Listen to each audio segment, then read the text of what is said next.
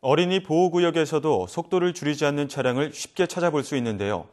시속 60km로만 달려도 어린이를 들이받았을 때 치명상으로 이어질 가능성이 거의 100%에 달하는 것으로 나타났습니다. 어린이가 있을 만한 곳에서는 철저한 방어 운전과 감속 운행 하셔야겠습니다. 조태현 기자가 취재했습니다. 초등학교나 유치원 주변에 설치되어 있는 어린이 보호구역.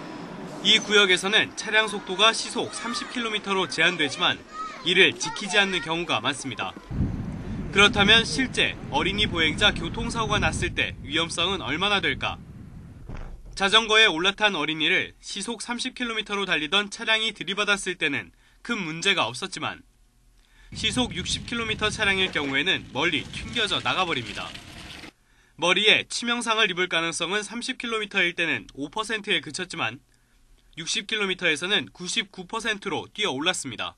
후드가 변형이 되면서 엔진과 같은 내부의 단단한 구조물과 2차 충돌을 하게 됩니다. 이때 머리상의 기준값이 높아지게 되고요. 문제는 국내에서 비슷한 사고가 비교적 많이 일어난다는 점입니다. 우리나라 어린이 10만 명의 보행자 교통사고 사망자 수는 0.7명으로 독일, 일본, 프랑스 등에 비해서 2배 이상 높은 수준입니다. 정부에서도 어린이 보행자 사고를 줄이기 위한 노력을 강화해 나가고 있습니다. 보행자 사망 사고를 줄이기 위한 안전 기준의 어떤 어, 개정이라든가 그리고 자동차 안전도 평가라고 해서 NCAP이라고 해서 그런 부분에 보행자에 대한 보호를 많이 하게 되는 경우 저희들이 가점을 주는 방식.